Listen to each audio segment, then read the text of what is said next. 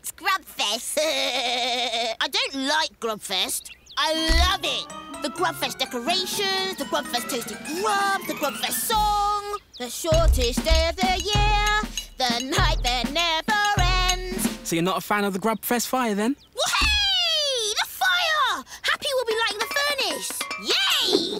Oh, too cold to sleep. And I do love sleeping. Berry Grubfest, Mr. Bottersnike.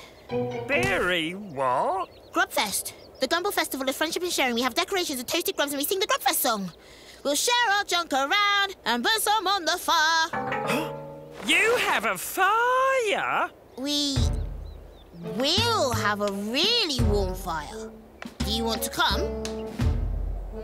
You're inviting me to the Gumble tree? Yes. And it's warm there? And there's toasted grubs, but you can eat junk if you like. Oh. All right, little Gumble. Yes! Can I get my junk and songs? Now he's here, how do we get rid of him? I'm not sure we should. What? Grubfest is about sharing. And friendship. Not with a snake. Listen, after I put the fire out, I thought you wouldn't want to talk to me again. But you did because we're friends.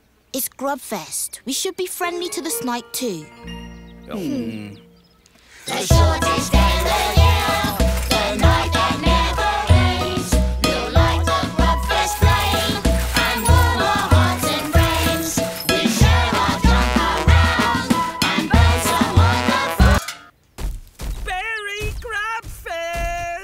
What is that poop snake doing there?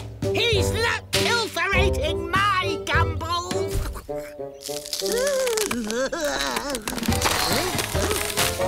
Gonna give me some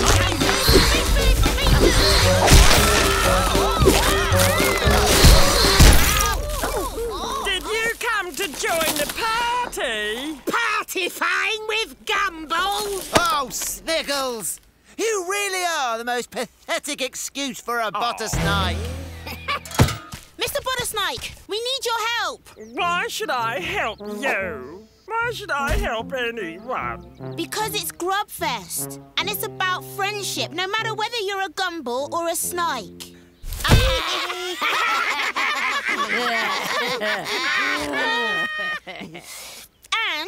and it's about sharing junk and gathering around the fire, which we won't be able to do unless you light the furnace for us. I'd give up, little grub squidger. Sniggles couldn't set fire to his own eyebrows. I'll show you, Chase! I'll show